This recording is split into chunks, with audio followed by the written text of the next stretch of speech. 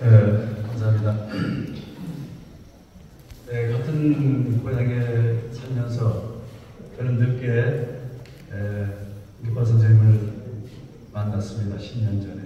네, 참 따뜻하게 저 인사받아 주시고 있던 그 모습 네, 지금 기억납니다.